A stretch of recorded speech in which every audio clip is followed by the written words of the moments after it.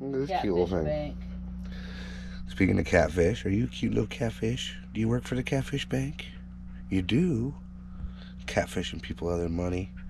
Welcome to Citibank, everyone. We are here to catfish your money.